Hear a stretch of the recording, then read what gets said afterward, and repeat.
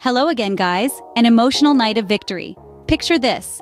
African Football Confederation 2023. The stage is set in Abidjan, Cote d'Ivoire. The air, thick with anticipation, pulses with the heartbeat of countless fans. Soar, Super Eagles, soar. The Nigerian team, a force to reckon with, takes the field. Their determination, palpable. Every pass, every goal, every save, echoes the unity of a continent passionate about football. As the final whistle blows, victory is sweet. Emotions run high, the taste of triumph, the sting of defeat, all part of the beautiful game. From the streets of Lagos to the Ivory Coast, the echoes of victory reverberate. This is the heart of African football. This is AFCON 2023. An emotional night, a night of victory. This moment, forever etched in the annals of sports history, a testament to the power of unity, perseverance, and the beautiful game.